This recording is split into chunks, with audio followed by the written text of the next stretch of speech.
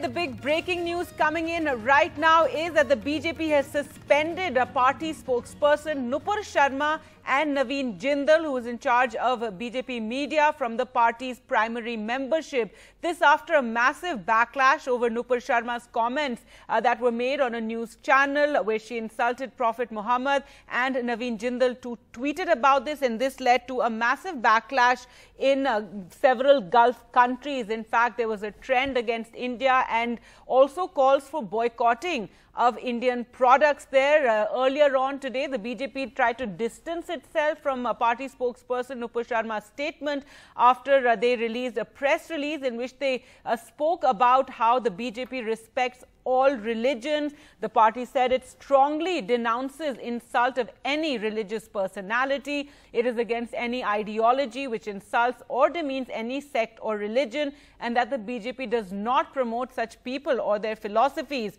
Now, this statement uh, earlier came amid this massive backlash from Gulf countries over the BJP spokesperson's statement and now uh, the news coming in that the BJP has suspended Nupur Sharma as well as Naveen Jindal who had also tweeted the same uh, remarks that Nupur Sharma had made. He had tweeted the same, uh, creating a huge amount of uh, outrage across uh, the country and in other countries as well. And um, Let's go across to Akshay uh, for more on this story. So, Akshay, that is the latest development now. Nupur Sharma and Naveen Jindal being uh, not just, you know, removed from their positions, but actually suspended from the party's primary membership. This after the massive backlash that has been building since uh, last night in many Gulf countries over the statements that they made. Well, absolutely, it has caused uh, not just not just the Bharatiya Janata Party, but the entire country a massive embarrassment as far as our allies are concerned in in the in the uh, West Asian part of the part of the world. Now, when we talk about uh, the statements that uh, were made by both of these uh, uh, former members of Bharatiya Janata Party now, uh, it, it was absolutely horrendous the way uh, the certain certain things were being said on national television or a tweet was made by Naveen Jindal uh, who who are uh, who were who had responsible responsibilities from the party and they were official uh, spokespersons. So anything that they were saying was considered word from the Bharatiya Janata Party, and that exactly is the reason that uh, the the the Bharatiya Janata Party had to send out a strong message as far as uh, these statements are concerned that have been made against a particular religion. So uh, that that probably is one of the biggest reasons. The way uh, this entire uh, there is there, the way there have been calls in the in the Gulf countries that Indian imports should be stopped. Uh, people who are employing the Indians, they should reconsider their decision.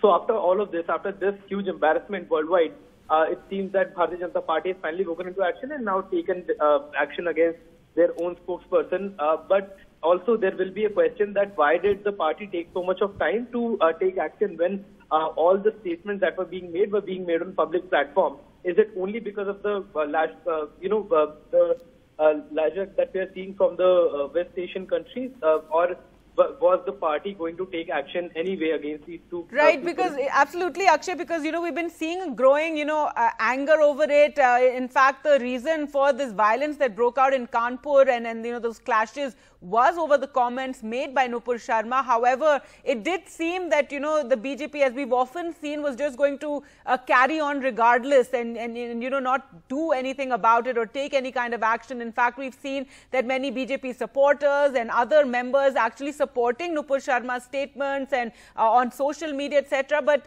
since yesterday, it took a very different sort of a turn with the, you know, this outrage and uh, the, the, the, social media uh, comments that were coming in from various countries, from Kuwait, Oman, from uh, Dubai, as well as Saudi Arabia. So a lot of anger, as you know, it became known what the and an official BJP spokesperson making those kind of comments on a, uh, on a news channel, and that is something that finally it seems has led to this sort of action uh, by the BJP. By uh, let's go across to Sanket also joining us on the phone line for more. And Sanket, when we spoke to you earlier, there was just uh, you know that press release by the BJP which which talked about respecting all religions and not saying anything uh, derogatory about any religious figure, but didn't really talk about Nupur Sharma or you know this entire uh, issue that has created such a backlash. But now the news coming in that both Nupur Sharma Sharma as well as Naveen Kumar Jindal, uh, who also made similar comments on Twitter. They both have been suspended from the party's primary membership.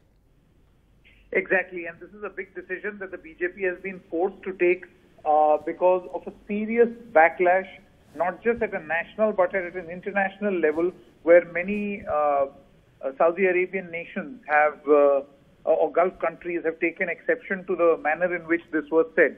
Now, if you recall, and as we were discussing, uh, it was not just uh, uh, Ms. Nupur Sharma, but various other leaders also of the Bharatiya Janata Party and those who support the BJP uh, who seconded and promoted the same view.